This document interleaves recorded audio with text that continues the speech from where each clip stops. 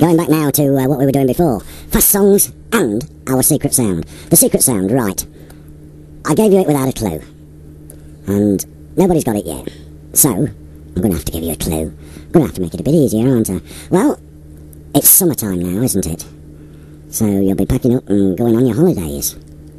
Well, this secret sound could be associated with holidays. Do you get what I mean? Hmm. Any idea? What is that secret sound? Could be associated with holidays. That's the clue. Right, let's go back now to the music, the fast ones. And, uh, Rob, he said, what about Sigue Sigue Sputnik? Because Sigue Sigue Sputnik, it was a satellite and that was fast. The song's called Love Missile, because that's fast. And it's Love Missile F-111. The F-111 was a plane, and that was fast. But he says the song's fast as well. Let's find out, This is shall we? Easter Sunday. Oh dear, where's that come from? I don't know where that came from. Lent us over. Right then, one more secret sound. We'll do it a couple more times and then I'll reveal what it is. But have you got this secret sound now? I said there is a clue. The clue is holidays. Think about your holidays. And then uh, we'll uh, we'll see about that, won't we? So here's the sound. It should be when it wants to play. Here we go. Come on, Mr. Machine. Try again. It. It's a bit slow today.